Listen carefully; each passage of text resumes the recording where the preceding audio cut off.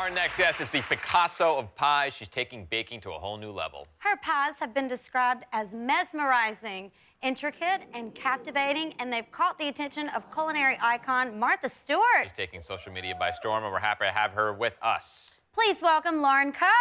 Lauren. Hey, thank you for being with us. Oh my gosh, thanks for having me. and sharing your works of art. This is really delightful. cool. Thanks. How did this begin?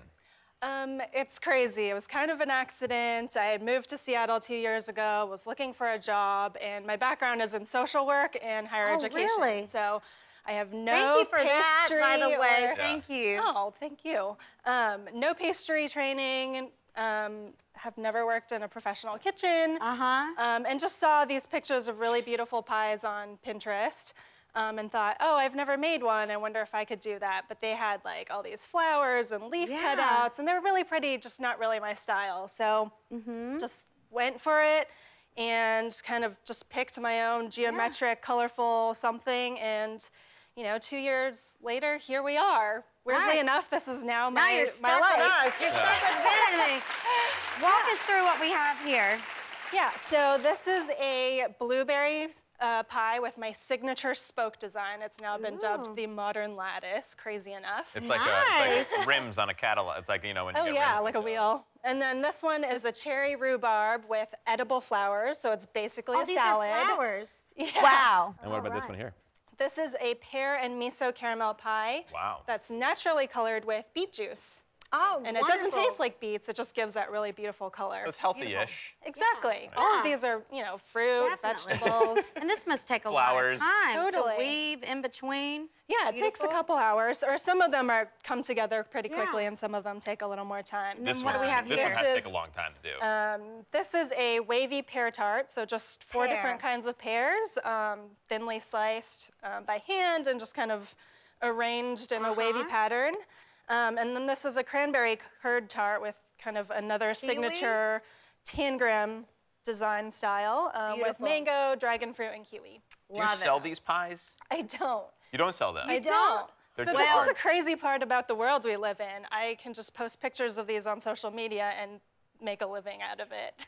Really? So um, 'Cause you have that big of a following that I people guess are so, so. fascinated Yeah, by it's, it. it's I've got to be more active on social media.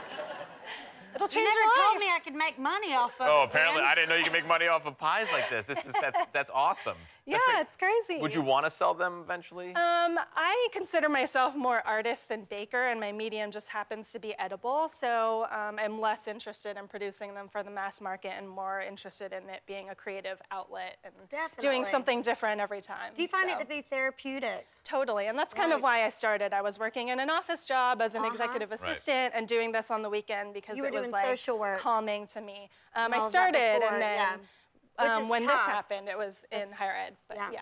I feel bad eating these pies because they are artwork. No, it's like taking a slice out of a, a beautiful painting or something like that. Well, Nope. we have some videos of you making the pies. Okay. Can you talk us through them? Yeah, absolutely. So Okay, here which I'm just is this? cutting. This is the signature spoke Yes. design. So just roll out the Oh, dough, look at that. cut Oh, them into nice. strips, and then looks so arrange easy. them around. It really is. It takes it's not. 10 It minutes. can't be easy. That cannot be easy. You can do it. Is there an idea that you have that you want to do that you haven't experimented with yet? Um, you know, I feel that inspiration is everywhere. So I have designs in my feed that are inspired by storm drains and bathroom tiles and Yeah. bamboo purses. So sometimes I'll see somebody walking in the street and see a really cool shirt that they're wearing, Yeah. and I'll store that away as a memory for future inspiration. You inspiration. should just so, go up to them. Absolutely. Yeah. I'm gonna make that into Like, a can I, pie. can I just Yeah. have that really quick? Thanks. Do you like pie?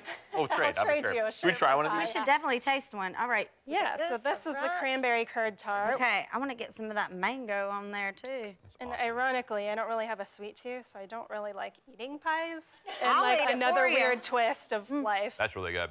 That is good. That's Beautiful awesome. and good. Yeah. Mm. It's nice Thank and tangy, Lauren. so it's not too sweet. Yeah, it's great. Great job. That's Yeah. beautiful. Thanks, Lauren. Thank you very much. Thanks So much for having me. Come